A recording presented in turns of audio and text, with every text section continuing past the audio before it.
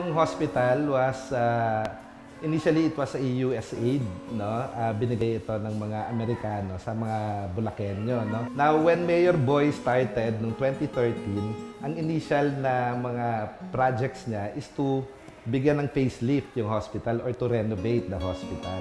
Early this year also, we implemented a PhilHealth project kung tawagin ay point of service. No?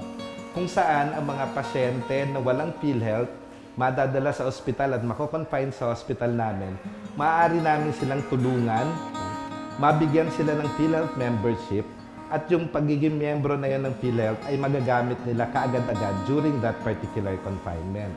Kung meron mang sumusobra pa sa pangangailangan na pambayad sa ospital, na ilalapit din po namin sila sa napakaraming assistance na natatanggap ng ospital ng Giginto.